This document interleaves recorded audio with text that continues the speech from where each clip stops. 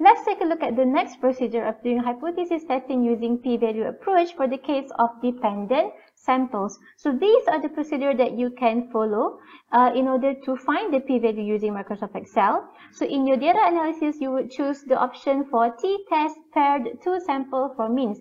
And um, this is how it's going to look like. Alright, so only choose this option only and only if your hypothesis testing is involving dependent samples. Okay, so we're gonna um, apply this procedure for our example 3.13. This example is about um, uh, a new gadget that needs to be installed to the air conditioner in order to minimize the number of bacteria floating in the air. So then this is the data collected. Uh, the question here is, is it wise for the factory management to install the new gadget? So we need to do a hypothesis testing to make a decision here whether or not to install the new gadget, alright? Um, and then test the hypothesis at 5% level of significance. So here we have that our alpha is equal to 0.05.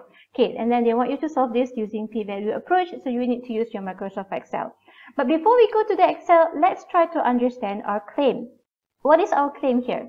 So we need to make sure, um, we need to decide on whether or not we want to install the new gadget. So let's say we make it that our claim is to install the new gadget. Okay, so but what is the um, prerequisites for us to install the new gadget? Well, we will install the new gadget if it does works to minimize the number of bacteria. So what does it mean that um, the new gadget does minimize the number of bacteria. So you have to think about this logically. You have to think about this logically without even looking at the data given to you, okay?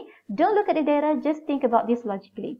So if the new gadget does minimize the number of bacteria, so it means that the number of bacteria um, after the installation should be less, fewer, compared to the number of bacteria after, uh, before installation, right? Or maybe I can also write it in vice versa. So before should be greater than after. Okay, so in other words, I, I, can also write this as um, mu b minus mu a greater than 0. So this gives me mu d greater than 0. Okay, so this is if you choose to find the differences by doing before minus after, you get mu d greater than 0. And please do remember that since this is dependent samples, you do need to change your notation from uh, mu b mu a to mu d because this is dependent samples. Okay, so here we have our um, claim and this should go to H1. Okay, so mu d greater than 0, this is our claim. And remember to also write down the, the other hypothesis statement, which is the complete opposite.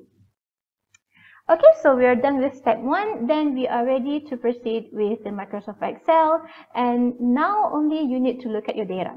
Okay, so because you're going to use this data to um, to come up with the output. All right. So using your Microsoft Excel, you will use the procedure I showed you in my previous slide, and this is the result that you're going to get. Okay. Um, let me zoom this in for you. T-test paired two sample for means. So if you, whenever you see this in the output, it shows that uh, this is the hypothesis testing for dependent samples. Okay, so again, I would like to remind you, dependent samples, you need to use the notation mu d. All right. So in this um, hypothesis testing, uh, we consider the cases where the differences is by taking before minus after. That's why you can see that in the output, uh, data for before comes uh, and then comes first and then only you can see the, uh, the information for uh, data for after installation. So let's take a look at this um, output here. Uh, so similar to the independent samples, you can uh, get the sample size here. So from here we can see that the sample size for before data is 7 and so is the sample size for after data. And then the hypothesized mean difference is 0 because that is what you need to set when you were doing the when you were um, doing it in your Microsoft Excel. This is set by you, and you can also set the significance level used. Okay, and then you have your uh, test statistic value here for alpha 0.05, and also the p-value for one tail and p-value for two tail.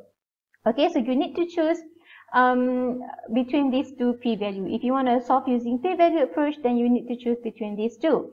So how to make the decision uh, on which value to use? You will have to look at your uh, step number one.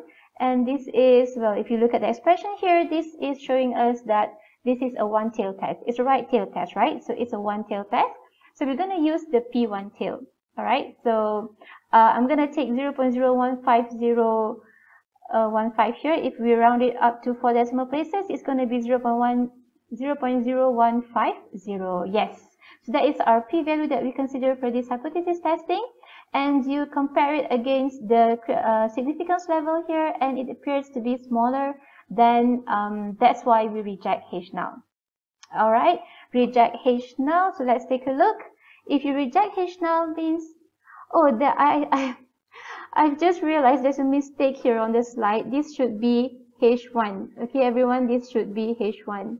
Perhaps you do need to make this correction on your module as well. Okay, so come again to step number, uh, the, the decision step here, reject H null. So I'm going to reject H null, so that means we're going to accept H1. And at the same time, by accepting H1, we are also accepting or supporting our claim, which is to install the new gadget. Right, so the conclusion here is at 5% level of significance, there is sufficient evidence to support the claim that it is wise for the factory management to install the new gadget. Okay, so what you need to know here is that to be able to read the output carefully and to decide which p-value to choose from depends on your step number one. Okay, hmm, I think that is mm, very clear. So let's move on to the next hypothesis testing procedure for the case of ratio of variances, right? So this is the final procedure in this video. Um, there are fewer steps, so you can go through this on your own later. We will use this to solve example 3.14, but I do need to tell you this. Um, this procedure is uh, used for ratio of variances only for the case of one-tailed test only. Alright, I repeat myself. This is the procedure uh, to do hypothesis testing for ratio of variances only for one-tailed test. Um, if you need to do hypothesis testing using Excel for the ratio of variances for two-tailed test, uh, you can use the procedure which I sh uh, showed to you in my previous video in example 3.12. Okay, so that is for two-tailed test ratio variances. And here in this video, I'm going to show you how to perform uh, hypothesis testing using Microsoft Excel for ratio variances for one-tailed test. So I'm, we're going to look at example 3.14. Okay, sorry. So this is quite um, elaborate. So let's simplify it. This is just about um, between two assembly line and it says that the arrangement with the assembly line with the smaller variance will be adopted. Okay, so that's the, the, the key word here. Uh, instruction, do the data support the claim that assembly line 1 will be adopted? So that will be our uh, claim here. And solve this using Microsoft Excel and p-value approach. Okay, so let's construct our claim. Let's try to understand our claim here. Again, when you want to understand your claim, do not look at the data given to you. Okay, so just imagine that you don't have it. So what will be our claim? So the claim here that assembly line will be adopted. Okay, so let's write it down. Uh, claim line 1 will be adopted. So, but what is the um, prerequisite if you want to adopt assembly line 1? Eh, we will do that only and only if that assembly line has smaller variance. Okay, so if it has smaller variance. So based on this claim, we will um, change this sentence into statistical notations, right? So, so, so since this is talking about variance, so of course, obviously we'll be using sigma squared. So if sigma uh, line 1 is supposed to be smaller, so we have that sigma square 1 should be smaller than sigma square 2. And there you go, we have our uh, claim for this example. So this uh, expression will go to H1 sigma square 1 smaller than sigma square 2. This is our claim. Right? And this is a one-tail test. So that's why we can use uh, the procedure to uh, conduct this hypothesis testing using Microsoft Excel. Alright, so step one is done. So then we're going to go and find the p-value using Microsoft Excel. So you will go through the procedure I showed to you from my previous slide. And this is um, the output that you're going to get. Okay, so let's take a look at the output.